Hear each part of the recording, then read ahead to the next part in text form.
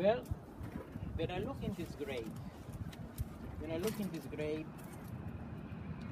anything else in this earth when I look in, I compare in my life because I'm an nature. and This is a nature. When I was a little boy, I look like this branch. I look like this, last. Nobody care about me. Now, observing nature, I cannot see any difference between nature, anything but grow, what I see, in us human being. If this suffering, nature suffering, we have to suffer. No question about that.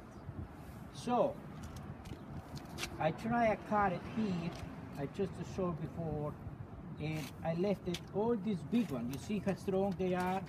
I cut them off. I cut them off. I left it.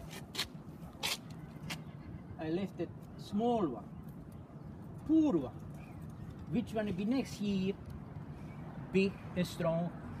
Then I cut them back again. I want to leave it there. Small one, poor one.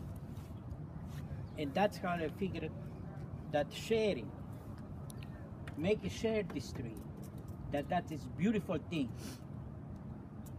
It grow, nobody complained, the tree is good, is strong. Another way, if you leave it, only this big one will live for some years and tree will die. And if you like to, you can go on my blog. You will see, understand if you go through through my writing. Then you will see what I think about. You will learn more.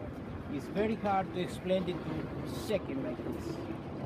It's impossible, but I give you just hint.